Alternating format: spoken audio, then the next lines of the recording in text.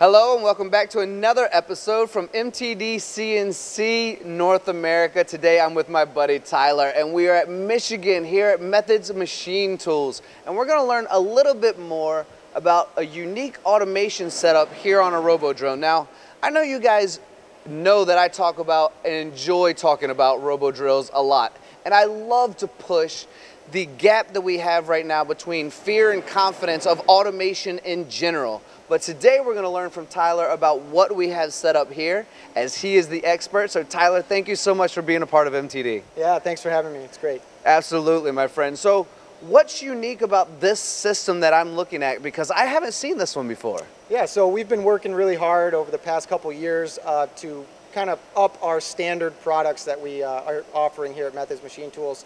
We've been working a lot on product development, research and development, and this is the, uh, the child of all of that hard labor. So um, right now this is one of our first standard product development systems. We call this the Job Shop Cell Pro.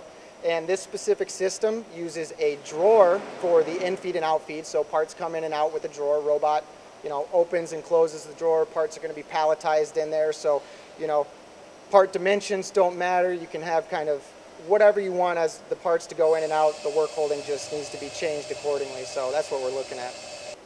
And Tyler, this feels like the next step in automation of being able to really take multiple projects and put them into a drawer type system and make it easier and have the machine time run more and the downtime and process time obviously being reduced. Yep, and you know, a lot of our customers obviously are very familiar with machine tools. Um, but we don't see the same familiarity in the automation side of things. So the goal with these systems was to provide our customers with a standard automated kit that's simple to set up. So that was the real goal. Um, we try to do as much work on the back end to make it look extremely simple and easy to use on the front end. So we're doing a lot of automated uh, determining of positions in here. We actually have a probe that we're hooking up to the robot end of arm tooling and teaching all of our user frames within the, the system automatically. So we're no Skynet just yet, but we're trying to move out towards the uh, AI world and kind of have the robot teach itself. So really we're trying to take the difficulty and the fear um, out of the customer's eyes when they see these automation systems and try to make it as simple and easy to use as possible. Well, I like the name drop, first of all. Yeah. And secondly, I know that you've been here for eight years. I know that you are you know, incredible when it comes to these. We're standing in a facility right now where you set these machines up and run tests for your customers. Yep. But how easy is it really for someone who's never touched one of these before? How can we really convey a message that helps them reduce their fear? Yeah, so, you know, with anything, there's a small learning curve and, you know, things are scary at first, but like I said, what we're trying to do here is, is get you 95% of the way there and all you have to do is, if you can hold a, a, a robot teach pendant right here and push shift and, and touch up that point for that position where the robot picks and places, then everything else should be set up for you. So really, you know, the programs are established, uh, the interface is established. All you need to do is do a final touch up on a couple points and you should be off and running. And the great thing about that is it makes changeover and different part styles within the realm of possibility. So. Yeah, well said. So I have a question. I'm seeing these all these drawers here, right? Yep. Do I need to have the same product on every drawer? Can every drawer be different? Or how does that work? So right now, yes, you need to have the same product. There is a caveat though. If your end of arm tooling could handle all your different part styles and your work holding in the machine could handle all your different part styles, then you'd be a candidate for, yeah, you could kind of open that up to, let's say, a part family. But you can't be too different because the work holding has to work throughout.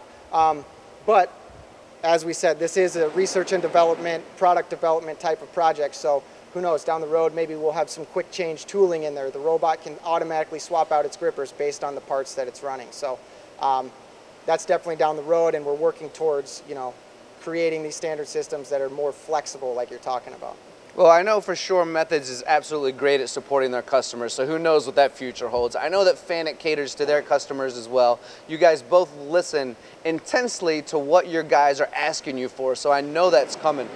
Is one of the things that's coming is maybe the ability to have different grippers on the opposite side of this setup where I could switch my grippers out, which allow me to adjust my parts as well? Yep, it's definitely been in the back of our minds. Um, you know, like we said, this is the kind of first iteration that we're pushing out to market, so uh, we're trying to get this one perfected, and then obviously we're going to move on to bigger and better things for sure. We're not going to sit and rest on this, you know, product. We're going to improve it as much as we can and keep it moving into the future. So yeah, definitely that could be something that you'll see down the road.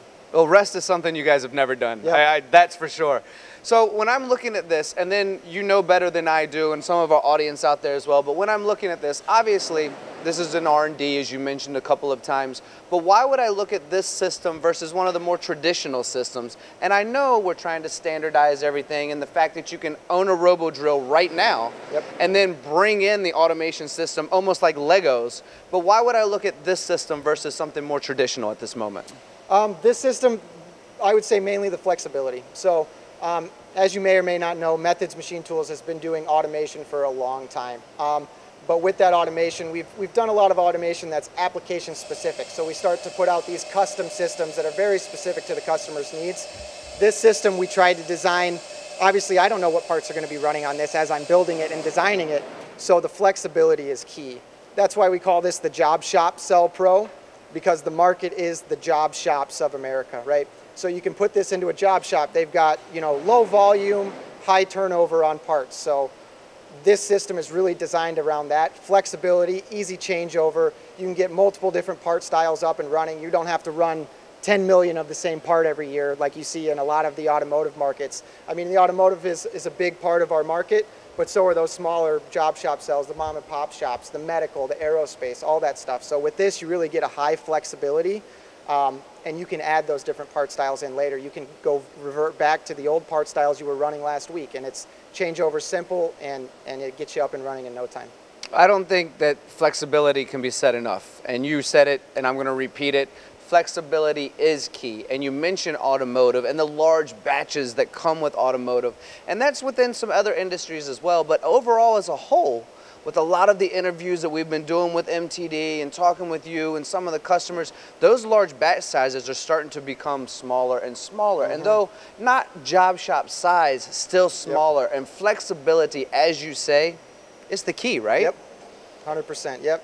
And within that flexibility, so this is the obviously the drawer system that we're showcasing here, but we already have two different in-feed styles that we're also developing um, in parallel to this drawer system. So we're going to have a conveyor system as well, which would be more in line with, I think, a traditional style um, automated system. So an in-feed conveyor and an out-feed conveyor, power-driven.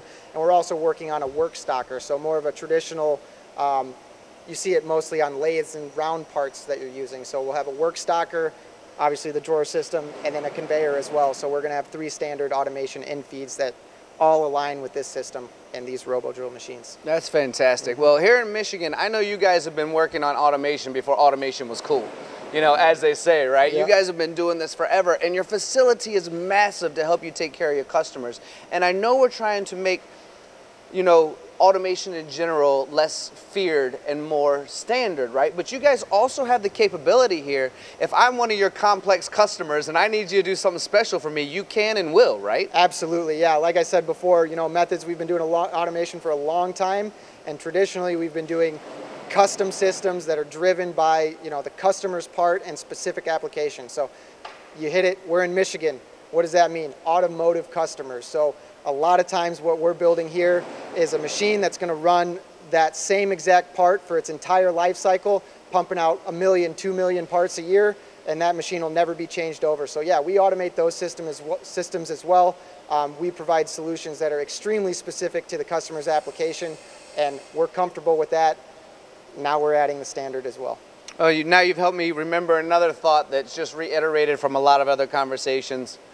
This bad boy, so repeatable, Yep. so reliable, so flexible. It has all the things that those customers of yours and other customers might need when it comes to that reliability. Exactly, yeah. With these RoboDrill machines, you know, you've got the three different sizes, short bed, medium bed, long bed. They can accommodate a wide variety of parts. You can get them up to five axes, you know, traditional three plus two or full five axis. You know, everything's a possibility on these RoboDrill machines. Well, Tyler, you are the man. I got to end this conversation before you take my job. You're so good at this. But I do appreciate you sharing all of this great technology with me, our global audience at MTD. You're amazing. Thank you so much. Absolutely. Thanks for having me.